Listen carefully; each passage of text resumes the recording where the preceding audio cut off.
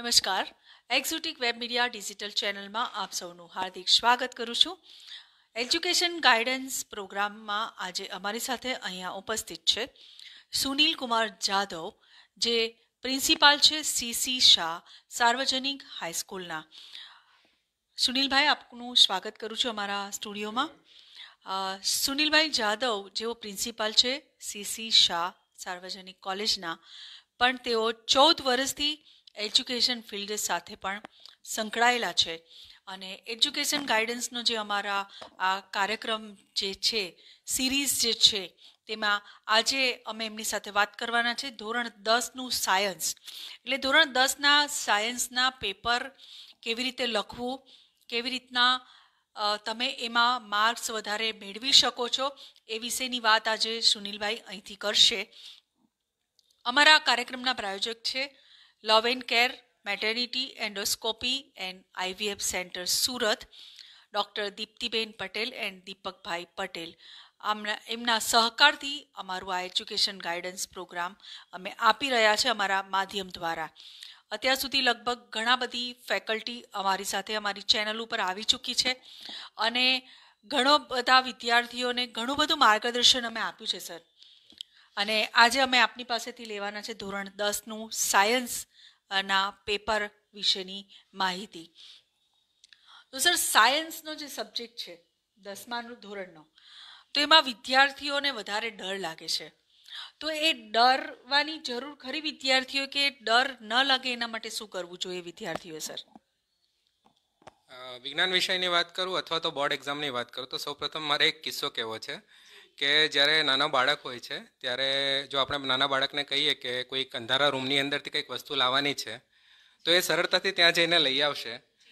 પરંતુ જ્યારે આપણે એને ભૂત વિશે કહીશું કે ત્યાં આગળ ભૂત જેવી કંઈ વસ્તુ હોય છે, અને પછી આપણે એને કહીશું, જશે એ ખરો, અડધે જઈને અટકી જશે. અને પેલું ભૂત યાદ આવશે આ જ વસ્તુ અહીંયા પણ થાય છે. કે જ્યારે આપણે બોર્ડની અંદર જ્યારે વિદ્યાર્થી પ્રવેશે છે, ત્યારથી માતા પિતાઓ તેને કહે છે કે બોર્ડની પરીક્ષા છે, હવે તારે ખાસ ધ્યાન રાખવાની જરૂર છે. એ જ રીતે અન્ય આજુબાજુના વ્યક્તિઓ છે, બધે દરેકે દરેક વસ્તુ એ તો શું, પણ કોઈક શાકભાજીવાળાઓ એ પણ કહે છે કે તમારે બોર્ડની અંદર છે એટલે ખૂબ ધ્યાન રાખવાની જરૂર છે. ત્યારે બાળકના મનમાં એવી કંઈક, એક ભીતિ ઘૂસે છે કે આ બોર્ડ શું હશે?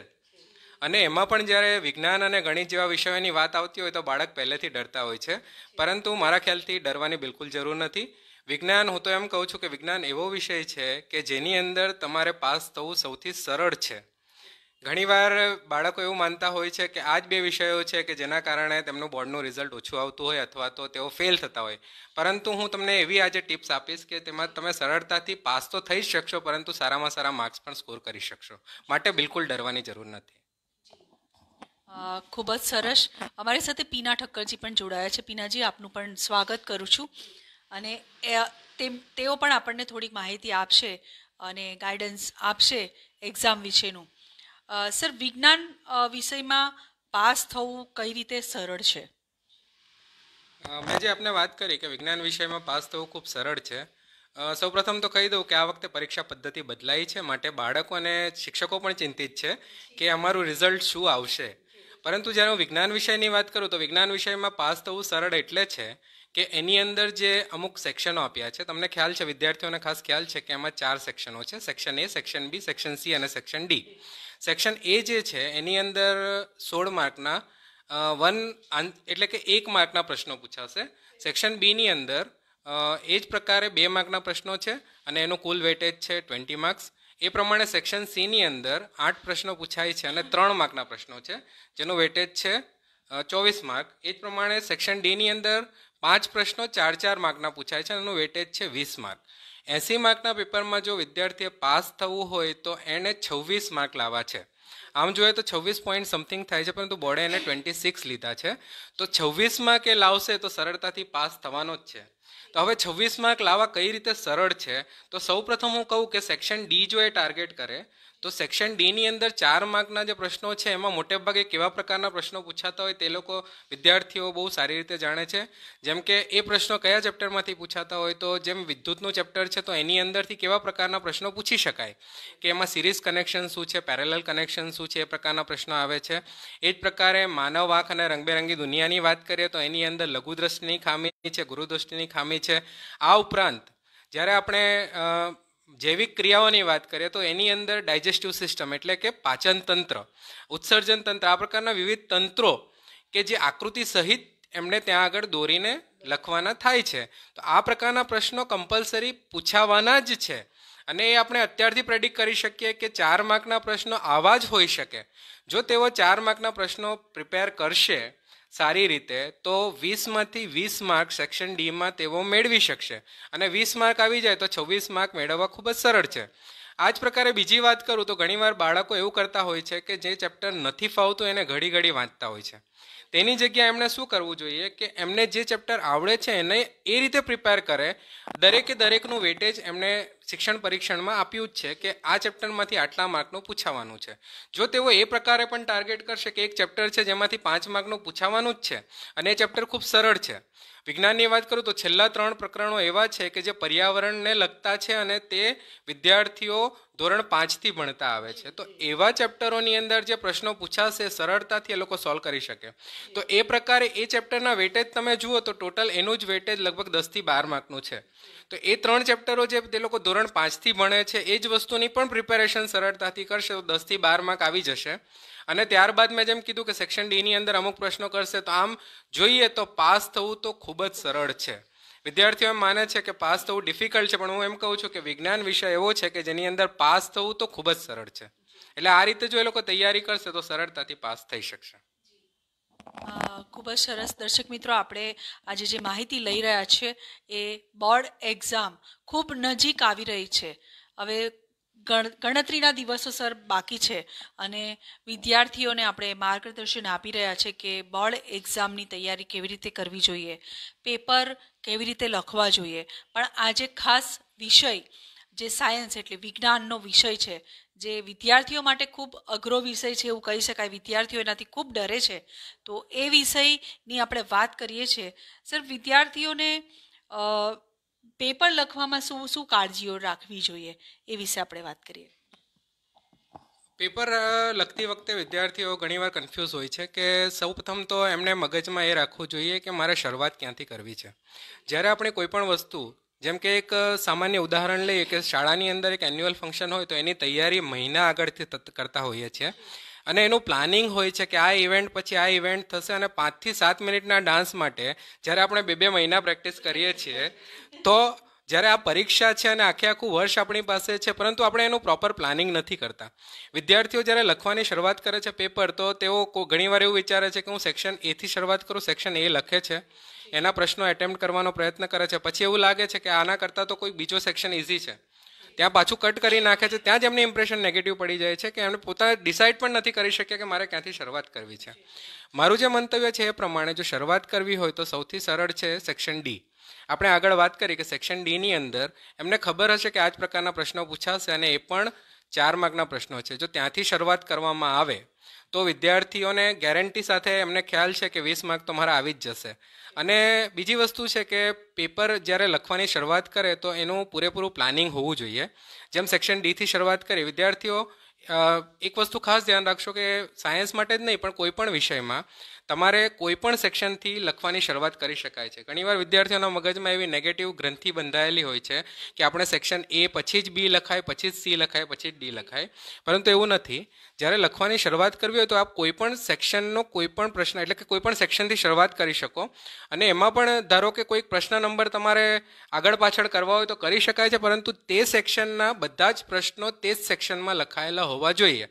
એવું ના થઈ શકે કે સેક્શન ડીની શરૂઆત કરી, બે પ્રશ્નો લખ્યા, પછી સેક્શન સી પાછો લખ્યો, પછી એના બે પ્રશ્નો લખ્યા, પછી ફરીથી સેક્શન એ સ્ટાર્ટ કર્યો. કોઈ પણ એક સેક્શન લખવાની શરૂઆત કરો તો એ સેક્શન પૂર્ણ કરવાની જરૂર છે. અને ધારો કે તમને એક પ્રશ્ન નથી આવડતો, તો એમાં ગભરાવાની જરૂર નથી, પરંતુ ત્યાં આગળ તમે જગ્યા છોડી શકો. અને લાસ્ટમાં પણ તમને નથી જ આવડતો, તો તમે ત્યાં આગળ ક્રોસ માર્ક કરી શકો. એટલે એવું ગભરાવાની જરૂર નથી કે હું આ સેક્શનની શરૂઆત કરું, કે એથી જ મારે કરવાની જરૂર છે. પછી ત્યાં આગળ તમે છોડતા જશો નેગેટિવ ઇમ્પ્રેશન પડે.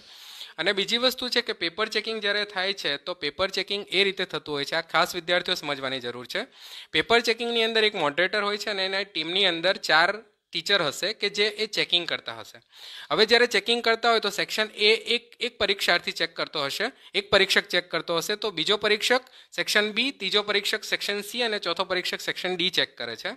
માટે મેં હમણાં જે કહ્યું કે તમારે જે લખવાનું છે, આમ તેમ લખશો તો પરીક્ષક પોતે એટલે કે જે ચેક કરનાર છે ગુચવાશે કે મારો સેક્શન ક્યાં છે? અને ઘણીવાર એમાં એવું થાય છે કે ચેક કરવાનું રહી જાય અથવા તો પરીક્ષક ચોકડી મારી દે. તો આ ખાસ જરૂરી છે કે તમે જ્યાંથી પણ સેક્શન લખો, પણ તમારે એ સેક્શનના પૂરેપૂરા પ્રશ્નો એ જ સેક્શનમાં જ્યાંથી શરૂઆત કરી હોય ત્યાં આગળ પૂર્ણ કરવાની છે.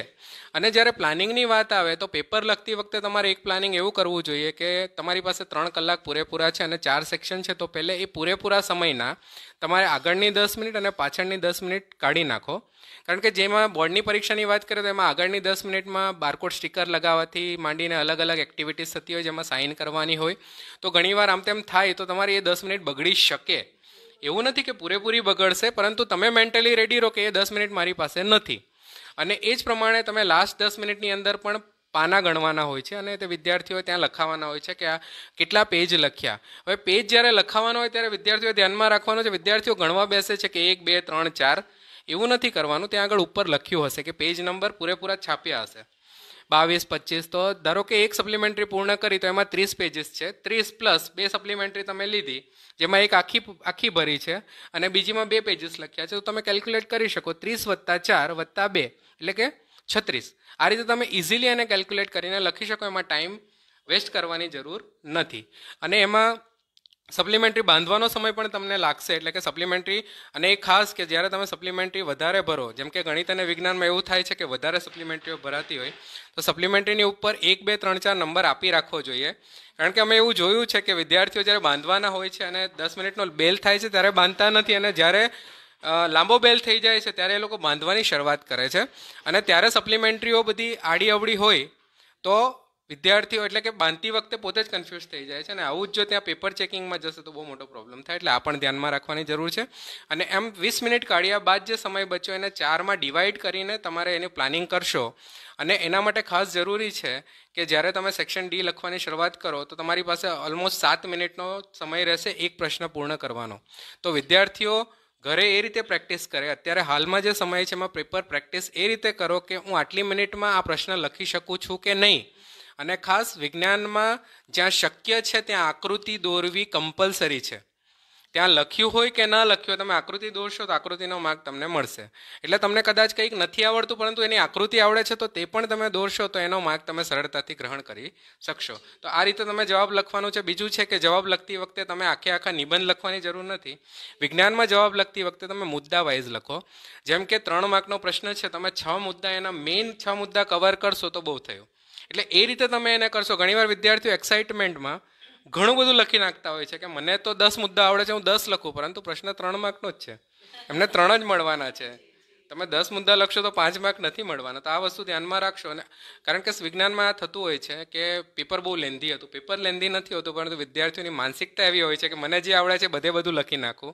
માટે સમય વિદ્યાર્થીઓની માનસિકતા જે છે, એ એ માનસિકતામાંથી તેઓ બહાર આવે અને ઇઝી એમનું જે પેપર છે, તે કેવી રીતે ઇઝી કરી શકે ઇઝી લખી શકે અને સારી રીતના તેઓ સ્કોર કરી શકે માર્ક લાવી શકે, એના માટે જ આપણે આ કાર્યક્રમનું આયોજન કર્યું છે.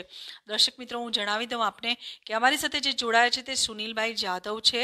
આપની સાથે જેમણે એજ્યુકેશન ફિલ્ડમાં લગભગ ચૌદ વર્ષનો અનુભવ છે અને હાલમાં તેઓ સીસી શાહ સાર્વજનિક ઇંગ્લિશ હાઈસ્કૂલના પ્રિન્સિપાલ છે.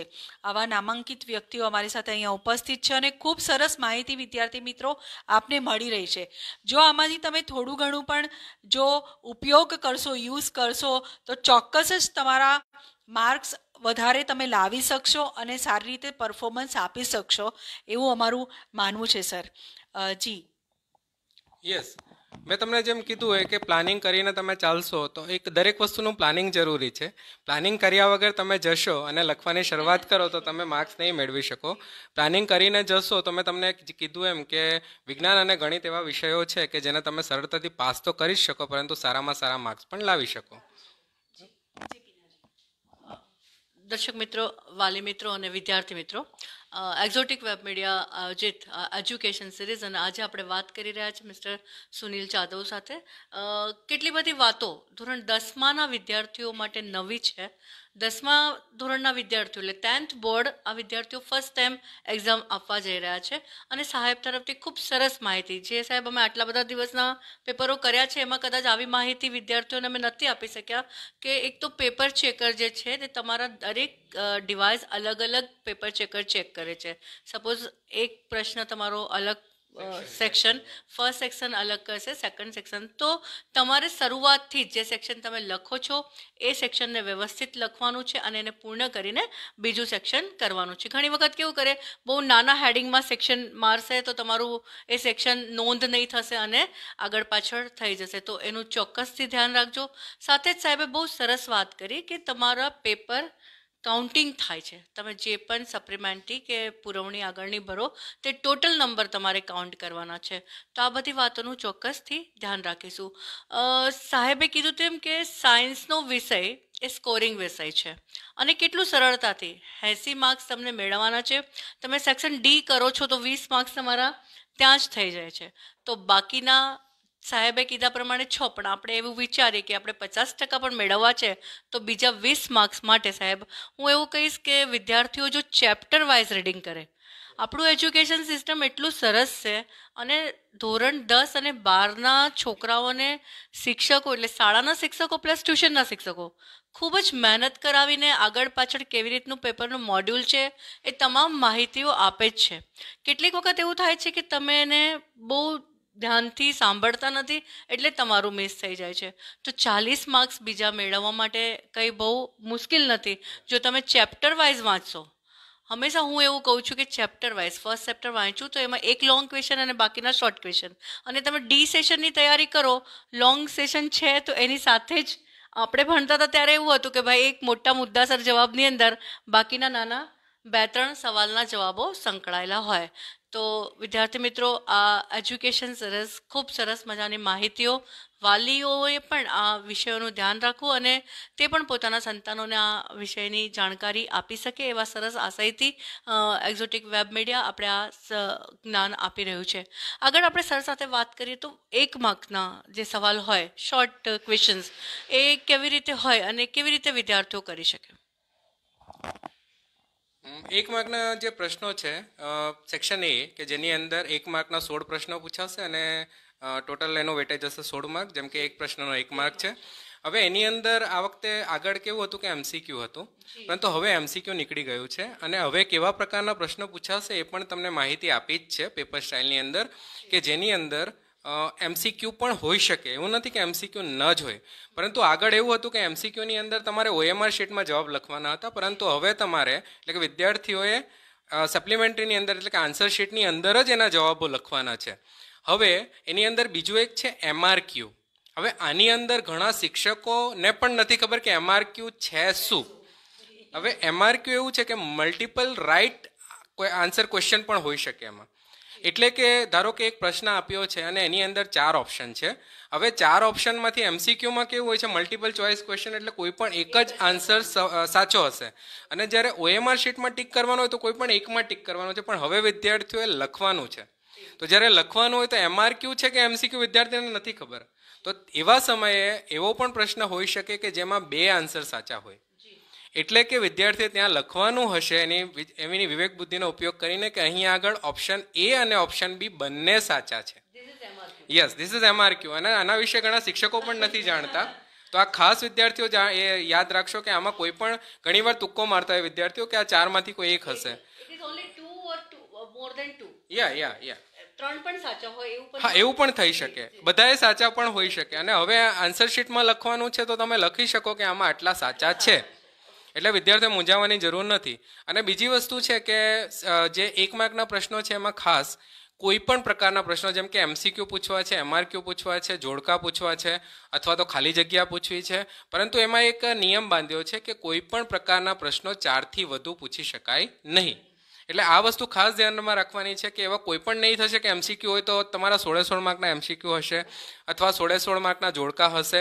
એવું નહીં થશે. કોઈ પણ એક પ્રકારના પ્રશ્નો ચારથી વધુ ન પૂછી શકાય. તો મોટે ભાગે એવું હશે કે જેની અંદર જેમ કે કોઈક વૈજ્ઞાનિકોના નામ છે અથવા તો કોઈક વ્યાખ્યા છે, તો એ બે અથવા ત્રણ એનાથી વધારે નહીં પૂછાઈ હોય, તો બધી જ રીતે તમારે તૈયારી કરવાની છે. અને દરેક ચેપ્ટરમાં જો તમે ટેક્સ્ટ બુક વાંચશો, તો ટેક્સ્ટબુકમાંથી તમને આ બધી વસ્તુ સરળતાથી મળી જશે.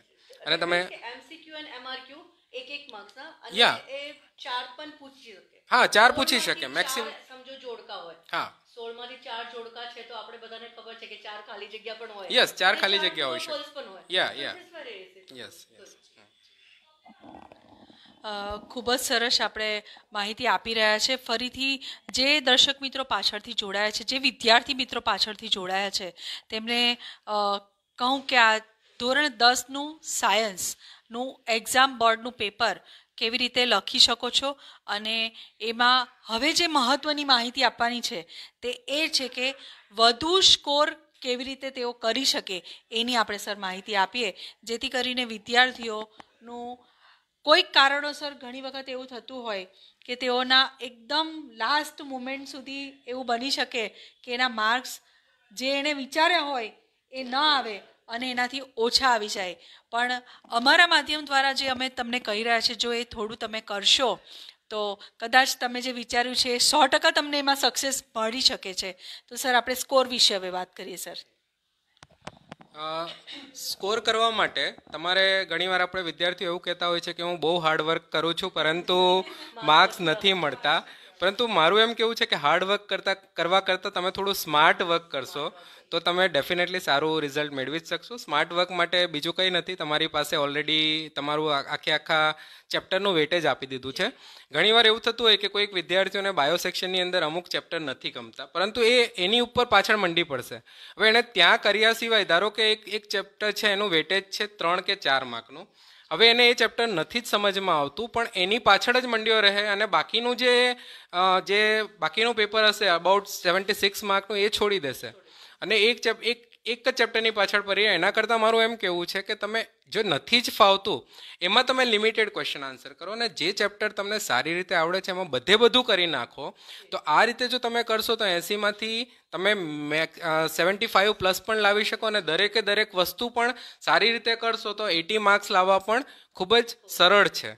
એના માટે આપણે થોડું સ્માર્ટ વર્ક કરીએ. જેમ કે કોઈક એક ચેપ્ટર છે. ધારો કે એ ચેપ્ટરની અંદર તમને ખ્યાલ છે કે એ ચેપ્ટરનું વેટેજ ત્રણ માર્કનું છે. હવે ત્રણ માર્કનું વેટેજ આખા આખા ચેપ્ટરનું છે તો એનો મતલબ કે ચાર માર્કનો પ્રશ્ન તો આમાં પૂછાવાનો છે જ નથી. હવે એ તમારું સ્માર્ટ વર્ક થયું. એની જગ્યાએ શું થાય છે કે એ ચેપ્ટરની અંદર જો મોટા લાંબા પ્રશ્નો હશે તો વિદ્યાર્થીઓ એ પ્રિપેર કરતા રહેશે. એમાં મેક્સિમમ તમે જાણો છો કે જો ત્રણ માર્કનું વેટેજ હોય તો બે અથવા તો એક માર્કનો જ પ્રશ્ન એમાંથી આવશે. તો એ જ રીતે તમે પ્રિપેર કરો. અને એવા જે પ્રશ્નો છે કે એવા જે ચેપ્ટરો છે કે જે તમને સારા આવડે છે, એને તમે સાઈડ પર મૂક્યા સિવાય એને વ્યવસ્થિત કરો. અને પછી તમે એવા જે ચેપ્ટરો છે કે જે તમને ઓછા ફાવે છે, તેની અંદર ટાર્ગેટ કરો. કે હવે આ પ્રશ્નો મોટે ભાગે ઇમ્પોર્ટન્ટ લાગે છે અને ઘણીવાર શિક્ષકો તમને ટિપ્સ આપતા જ હોય છે કે આ પ્રશ્નો ઘણા અગત્યના છે. આગળની પણ બોર્ડના તમે પેપરો રિફર કરી શકો. એમાં જે મોટે ભાગે પ્રશ્નો પૂછાતા હોય એનસીઆરટી અને આ સિલેબસની અંદર કોઈ બહુ મોટો ફરક નથી. આમ જોઈએ તો બેઝિક અમુક પ્રશ્નોમાં ફરક થયો છે. પરંતુ ઘણા પ્રશ્નો એવા છે કે જે આગળમાં પાંચ માર્કમાં પૂછાતા તો એ જ પ્રકારના પ્રશ્નો હમણાં ચાર માર્કમાં પૂછાશે. તો એ પણ તમે થોડું રિફર કરો અને થોડું સ્માર્ટ વર્ક કરશો. તો ડેફિનેટલી તમે સારામાં સારું રિઝલ્ટ મેળવી શકશો. અને એસીમાંથી એસી માર્ક પણ મેળવવા સાયન્સમાં એટલા જ ઇઝી છે, જેટલું પાસ થવું ઇઝી છે. ખૂબ જ સરસ. સર, પણ અત્યારે જે વિદ્યાર્થીઓનું ધોરણ દસમું એટલે દસમું ધોરણ એવું છે કે જે વિદ્યાર્થીએ પોતાનું ભવિષ્ય કે એની કારકિર્દી બનાવવી છે. તો ચોક્કસ આપણે વિદ્યાર્થીને એક માહિતી એવી આપવી જોઈએ કે વિદ્યાર્થી જે પસંદ કરે છે સબ્જેક્ટ કે જે પણ કારકિર્દી માટે જે પણ વિષય પસંદ કરે છે.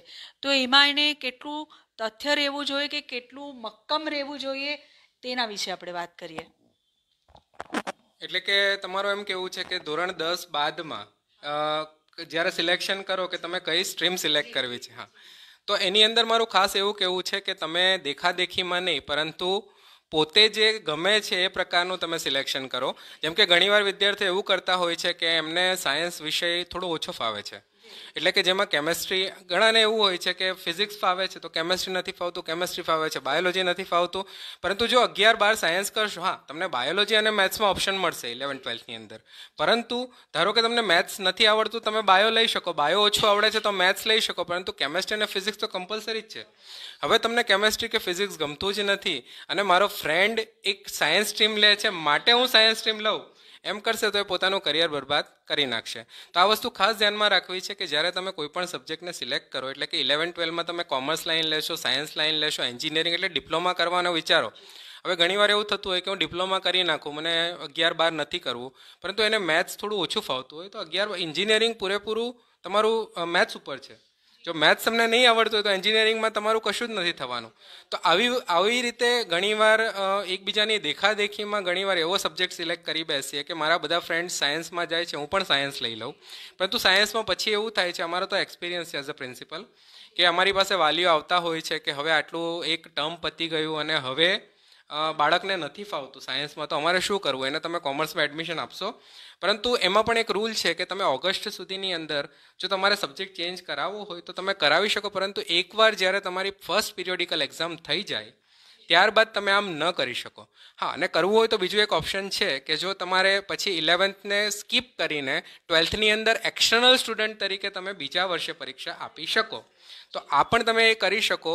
પરંતુ જ્યારે વાલીને નથી ખબર રહેતી તો ત્યારે વાલીઓ એમ વિચારે છે કે મારે બસ નથી ફાવતું તો હવે કંઈ નહીં. તમે સર, પ્લીઝ એને કોમર્સમાં એડમિશન આપી દો. પણ એ એટલું સરળ નથી. નિયમો પ્રમાણે એવું નહીં થઈ શકે. એટલે વાલીઓએ પણ આ વસ્તુ ખાસ ધ્યાનમાં રાખવાની જરૂર છે.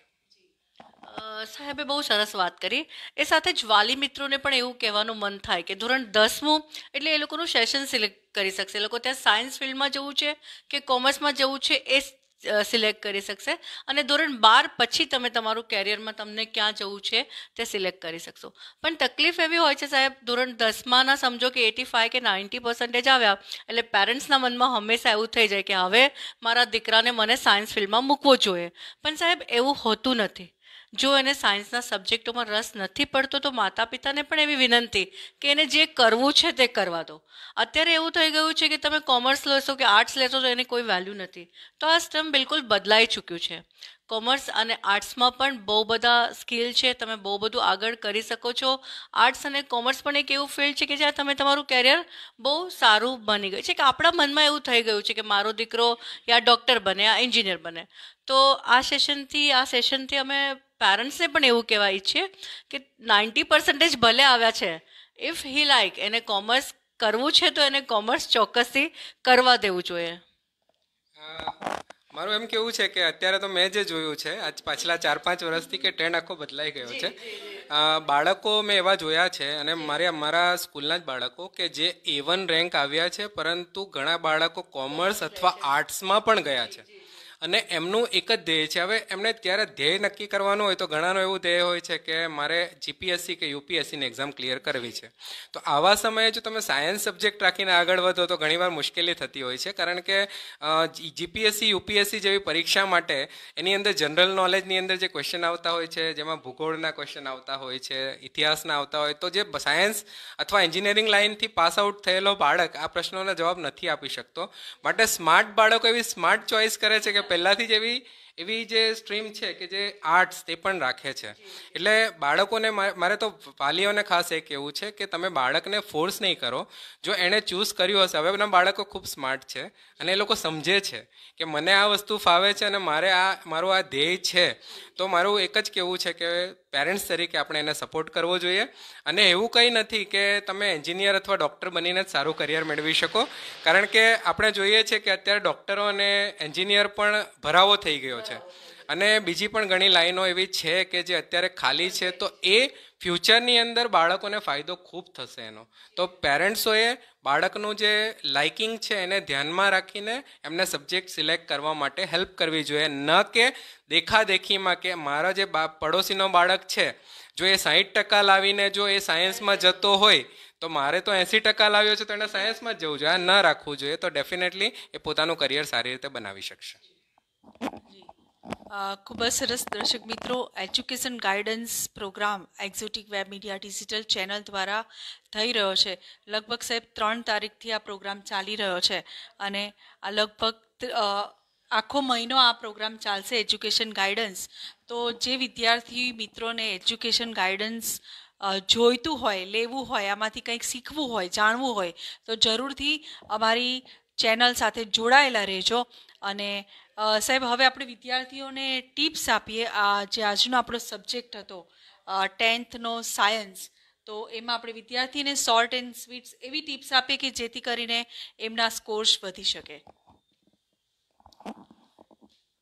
ટિપ્સમાં તો મારે એમ કેવું છે કે ટિપ્સ મેં જેમ તમને આગળ આપી કે જો તમારે પેપર લખવું છે, તો પેપર લખતી વખતે તમારે શું કરવું જોઈએ? ખાસ તો ટિપ્સની અંદર એક વસ્તુ છે કે જ્યારે પેપર તમે લખો તો બોલ પોઈન્ટ પેનનો યુઝ કરવો જોઈએ. ઘણીવાર બાળકો જેલ પેનનો યુઝ કરતા હોય છે અને પેપર ચેકિંગ વખતે કદાચ એવું થઈ શકે કે જેલ પેનની અંદર પાણી ઢોળાઈ જાય. તો ઘણો પ્રોબ્લેમ થઈ શકે ખરાબ થઈ શકે. તો મારું એક સજેશન છે. એવું જરૂરી નથી હવે તો જેલ પેન પણ એવી આવે છે વોટરપ્રૂફ પરંતુ બને ત્યાં સુધી તમારે બોલપેનનો ઉપયોગ જનરલ માહિતી આપીએ છીએ કે એફોર્ડ કરી શકે. Yes. બધા જ લોકો અફોર્ડ કરી શકે એવી વસ્તુ યુઝ કરવી જોઈએ. Yes yes yes yeah paper તમે સારી રીતે લખી શકો ખરાબ ના થાય. એટલે એ વસ્તુનું ધ્યાનમાં રાખવું જોઈએ કે તમારે બોલ પોઈન્ટ પેનનો યુઝ કરો અને બીજી વસ્તુ છે કે જ્યારે બોલ પોઈન્ટ પેનનો યુઝ કરો ત્યારે લખતી વખતે તમારે બ્લુ પેનનો જ યુઝ કરવાનો છે. ઘણીવાર બાળકો એને થોડું એટ્રેક્ટિવ બનાવવા માટે અલગ અલગ કલરની પેન યુઝ કરતા હોય જેમ કે બ્લેક પેન ગ્રીન પેન પણ યાદ રાખજો જે જે પેપર ચેકિંગ થાય છે એ સમયે જે ચેકર છે એને પેનો અલોટ કરેલી છે. જેમ કે પેપર જે ચેકિંગ કરનાર હશે પરીક્ષક, તો એ પેપર રેડ પેનથી ચેક કરશે. એની ઉપર જે મોડરેટર હોય છે એ બ્લેક પેનથી ચેક કરશે એની ઉપર જે કોર્ડિનેટર હોય છે એ ગ્રીન પેનથી ચેક કરે. તો આવા સમયે જ્યારે એ લોકો ચેકિંગ કરે છે, તો આ બધી પેનનો જો તમે ઉપયોગ કર્યો હોય તો પ્રોબ્લેમ થશે. માટે તમારે ફક્ત ને ફક્ત બ્લુ પેનથી નો ઉપયોગ કરવો જોઈએ. બીજી વસ્તુ છે કે ટિપ્સમાં ખાસ, કે કોઈ એક પ્રશ્ન છે તો એની અંદર જે અગત્યના પોઈન્ટ્સ છે એની નીચે તમે અંડરલાઇન કરતા જાઓ. જેમ કે કોઈક એક લઘુ દ્રષ્ટિની ખામી છે તો લઘુ દ્રષ્ટિની ખામીમાં એવું છે કે દૂરની વસ્તુ દેખાતી નથી. તો આ એક મુખ્ય કીવર્ડ થયો. એ કીવર્ડની નીચે તમે અંડરલાઇન કરો. અંડરલાઇન માટે કોઈ પેન્સિલ કે અલગ કલરની પેનનો યુઝ નથી કરવાનો. તમે જેવું લખ્યું એની સાથે તમારી બ્લુ કલરની પેન છે એની સાથે જ નીચે અંડરલાઇન કરી દો. એ જ પ્રમાણે એના બીજો જોઈએ કે આમાં કેમ એને ગુરુ લઘુદ્રષ્ટિની ખામી કહીએ. દૂરનું દેખાતું નથી, એક પોઈન્ટ થઈ ગયો. બીજી વસ્તુની વાત કરીએ તો દૂરનું જોવું હોય આપણને, તો જે આ રેટિના છે, એટલે કે કીકી છે એ નાની થવી જોઈએ.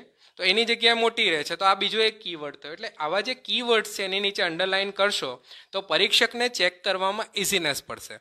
અને મારું ખાસ કહેવું છે કે પરીક્ષકને પેપર ચેકિંગમાં તમે જેટલું ઇઝી બનાવી આપશો, તેટલા માર્ક્સ તમારા વધારે આવશે. તો આ વસ્તુ તમારે ખાસ ધ્યાન રાખવી કે આ રીતે નાની નાની ટિપ્સ છે. પછી મેં તમને કીધું એમ મુદ્દાઓ જે છે, એને તમે પેપરને નિબંધની જેમ ના લખો. એ નિબંધની જેમ લેંગ્વેજ સબ્જેક્ટમાં લખી શકો. વિજ્ઞાન અને ગણિતમાં અથવા તો એસએસમાં જ્યારે લખવું હોય તો તમારે મુદ્દા વાઇઝ લખવું જોઈએ. અને તમારે મુદ્દાઓને પણ મેઇન મુદ્દા લખવા જોઈએ. જેમ કે ત્રણ માર્કનો પ્રશ્ન છે, છ મુદ્દા લખશો અને મેઇન અગત્યના છ મુદ્દા કવર કરશો, તમને ત્રણ માર્ક પૂરેપૂરા મળશે. તો આ વસ્તુનું પણ ધ્યાન રાખવું જોઈએ. અને આવી ઘણી બધી નાની નાની ટિપ્સો છે કે જે તમે એનો ઉપયોગ કરશો, તો ડેફિનેટલી તમે સારા માર્ક મેળવી શકશો. ખૂબ જ સરસ સુનિલભાઈ સાથે આપણે વાત કરી રહ્યા છીએ, જેઓ પ્રિન્સિપાલ છે સીસી શાહ સાર્વજનિક એજ્યુકેશન શાળાના અને અમારા આ કાર્યક્રમના જે પ્રાયોજક છે છે love and care hospital love and care maternity IVF centre જે છે સુરત ખાતેનું, એ એમના સહયોગથી અમારો આ એજ્યુકેશન ગાઈડન્સ કાર્યક્રમ સર ચાલી રહ્યો છે. અને હવે છેલ્લો પ્રશ્ન મારો સર એ હશે કે હવે આપણે જે ટિપ્સ આપવાની છે, એ આપણે વાલીઓને આપવાની છે ને વાલીઓને કહેવાનું છે કે આપના વિદ્યાર્થીઓના માર્ક્સ સારા આવે, એ માટે આપે શું કરવાનું છે? વાલીઓએ જે અગત્યની ટિપ્સ મારે કહેવું હોય તો વાલીઓને પહેલું કે હવે બોર્ડની પરીક્ષામાં ખૂબ ઓછો સમય બાકી છે. તો ઘણીવાર વાલીઓ એમને એવું કહેતા હોય છે કે તમારે કોઈ વધારે સમય વાંચો. વધારે સમય વાંચો એટલે કે એવું એવું એમના ઉપર ફોર્સ કરવામાં આવે છે કે તમે સવારે જલ્દી ઉઠીને વાંચો. વાંચવા સાથે મતલબ છે ના કે સવારે જલ્દી ઉઠવા સાથે. કોઈક વિદ્યાર્થી એવો હોય છે કે જે રાતે સારું વાંચી શકે છે, તો એ જ સાયલન્સ એને રાતે પણ મળશે જે એને સવારે મળવાનું છે. તો એવું કોઈ ફોર્સ કરવાની જરૂર નથી કે તમે એને વાંચો તો સવારે જ ઉઠીને વાંચો. ઘણાના માઇન્ડમાં આવું હોય છે કે એને વાંચવું જોઈએ તો સવારે ઉઠશો તો સારું યાદ રહેશે. પરંતુ ઘણીવાર એવું થતું બાળક ઉઠે અને એને ઊંઘ આવતી હોય તો એ વાંચશે તો એ કંઈ યાદ નહીં રહે. તો આ એ વસ્તુ કરવાની જરૂર નથી. બીજી વસ્તુ છે કે એની જે આહાર છે એની ઉપર હવે ખાસ ધ્યાન રાખવાની જરૂર છે કે એને અત્યારે બેલેન્સ ડાયટ આપો. બેલેન્સ ડાયટ એટલે એને એવું ફૂડ આપો કે જે બહુ હેવી નહીં હોય. કારણ કે એને વાંચવામાં હેલ્પ હેલ્પફુલ થાય. જેમાં પ્રોટીન વિટામિન્સ એવું બધું હોય એવી વસ્તુઓ તમે એને યુઝ કરશો તો બાળકનું મગજ સતેજ રહેશે અને એ સારી રીતે વાંચી શકે અને ફોકસ કરી શકશે. ઘણીવાર કાર્બોહાઈડ્રેટ કે એવું જે લેતો એટલે કે ભાત રાઈસ છે કે ખીચડી ખાશે તો એને ઊંઘ આવે. અને એવા સમયે પછી આપણે બાળકને કહેતા હોઈએ કે જે તો ઊંઘ કાઢે છે, બોર્ડની પરીક્ષા છે, ધ્યાન નથી આપતો. તો આ વસ્તુનું ધ્યાન રાખો કે એને બેલેન્સ ડાયટ આપો. અને એટલા બધા એના ઉપર એ ના થઈ જાઓ કે હવે આખો દિવસથી વાંચે છે બાળક તો એને બહારનું ફાસ્ટ ફૂડ કહેવા લઈ જાઓ આજે તો સ્પેશિયલી એવું કર્યા સિવાય એને જે બેલેન્સ ડાયટ છે અત્યારે ખાસ આપવાની જરૂર છે. અને બીજું કે બાળક જ્યારે વાંચશે ટેન્શનમાં હશે તો બોર્ડની પરીક્ષા વખતે પણ બહુ લાંબો લાંબો સમય વાંચે છે કે કાલે સાયન્સનું પેપર છે તો આજે હું આખી રાત વાંચું. પરંતુ માતા પિતા તરીકે એમને કહેવાની ફરજ છે કે અત્યારે તમે એટલું નહીં વાંચો. આખી રાત વાંચશે તો એને બીજા દિવસે જે પેપર લખવા જશે તો એવા સમયે ઊંઘ આવે. તો આ વસ્તુ એમણે ધ્યાનમાં રાખવાની છે કે એટલીસ્ટ પરીક્ષાનો સમય જ્યારે છે જ્યારે એને મિનિમમ પાંચથી છ કલાકની ઊંઘ તો થવી જ જોઈએ. તો આ વસ્તુ એક ધ્યાનમાં રાખો. બીજી વસ્તુ છે કે જે સોશિયલ મીડિયામાં જે ફેસબુક છે કે વોટ્સએપ છે, એની ઉપર જો એ જોડાયેલો હશે, એક એક એક મેસેજ નાખશે અને એ પછી એને થોડી વારમાં એનું માઇન્ડ ત્યાં ચાલશે. તો અત્યારે થોડો એને સોશિયલ મીડિયા કે જે એને અત્યારે જરૂર નથી. હા, તમે એને વીડિયો જોવા છે યુટ્યુબના વીડિયો એમાં એને હેલ્પ કરી શકો, પણ એ ખાસ ધ્યાન રાખો કે સોશિયલ મીડિયાનો નેગેટિવ યુઝ અત્યારે ન કરે. જો નહીં કરે, તો ડેફિનેટલી એનું પૂરેપૂરું ફોકસ એના સ્ટડી ઉપર રહેશે. એનો પોઝિટિવ યુઝ તમે કરી શકો યુટ્યુબ ચેનલ ઉપર જો સારા વીડિયો જોવા છે મેથ્સ કે સાયન્સની અંદર તમને કોઈ પ્રોબ્લેમ છે, તો તમે એની અંદર વીડિયો જે રેડીમેડ હશે, તે પણ તમે જોઈ શકો છો યુટ્યુબ ઉપર ફેસબુક ઉપર. આ જ પ્રકારે મારી પણ એક ચેનલ છે, જેની અંદર જે પ્રશ્નો છે. ગણિત અને વિજ્ઞાનના સુનિલ કુમાર જાદવથી તમે સર્ચ કરી શકો, જેમાં ગણિત અને વિજ્ઞાનના એવા ઇંગ્લિશ મીડિયમ અને ગુજરાતી મીડિયમ બંને માટે જે અગત્યના પ્રમેયો છે, રચના છે કે જે બોર્ડની પરીક્ષામાં હંડ્રેડ પર્સન્ટ પૂછાય છે, વિજ્ઞાનમાં પણ એવા અગત્યના સવાલો છે તેવા નાખ્યા છે. તેનો તમે ઉપયોગ કરી શકો, પરંતુ એનો પોઝિટિવ યુઝ થાય નેગેટિવ ન થાય એ માતા પિતા તરીકે આપણે ધ્યાન રાખવાની જરૂર છે. અને એને પૂરેપૂરો સમય દસ કલાક જો વાંચે છે, તો દસે દસ કલાક એ વાંચી શકશે એવું નથી. તો એને થોડું રિફ્રેશમેન્ટનો પણ સમય આપો. એવું નહીં કે તમે બસ વાંચો, બસ એને ગોંધી રાખશો તો એ ફક્ત બુક લઈને બેસી રહેશે.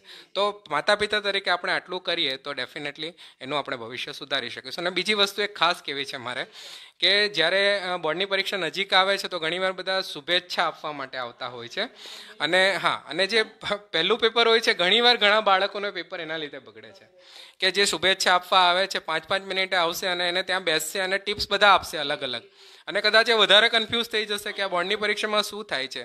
તો એવા સમયે મારું એક સજેશન છે કે જ્યારે શુભેચ્છા આપવા આવે છે, તો બાળક એની રીતે વાંચતું હોય, તો માતા પિતા તરીકે તમે શુભેચ્છા ગ્રહણ કરીને એને પાસવન કરી દો.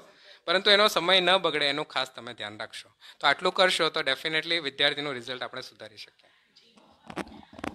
ખૂબ જ સરસ સુનિલભાઈ, આપનો ખૂબ ખૂબ આભાર. ખૂબ સરસ માહિતી આજે અમારા જે બોર્ડના વિદ્યાર્થીઓ છે એને અમે આજે તમે આપી છે અને ખરેખર ખૂબ માહિતગાર માહિતી હતી આજે જે આપે આપી છે તે. અને આવી જ રીતે અમે બીજા આવા એજ્યુકેશન ગાઈડ્સના કાર્યક્રમો હજી અમારા આખો મહિનો ચાલશે. તો વિદ્યાર્થી મિત્રો અમારી સાથે જોડાયેલા રહેજો. અમારું જે ફેસબુક પેજ છે એને લાઇક કરજો. યુટ્યુબ ચેનલને સબસ્ક્રાઇબ કરજો, સાથે બેલ આઇકોન પર ક્લિક કરજો, જેથી કરીને જે પણ કાર્યક્રમો એજ્યુકેશનને લગતા છે, એ તમામ કાર્યક્રમો તમે તમારા સુધી પહોંચી શકે અને તમે એને જોઈ શકો. અને જો તમને અમારી ચેનલના કાર્યક્રમો સારા લાગ્યા હોય, તો જરૂરથી ફીડબેક પણ આપજો, કે જેથી કરીને અમને પણ, અને કોઈ સજેશન હોય તો પણ આપી શકો છો, કે જેથી કરીને અમે એમાં કંઈ ચેન્જ લાવવાનું હોય તો અમે લાવી શકીએ. તો ફરીથી આપનો આભાર, પીનાજી, આપનો પણ આભાર. અને પાછા મળીશું. ત્યાં સુધી નમસ્કાર. thank you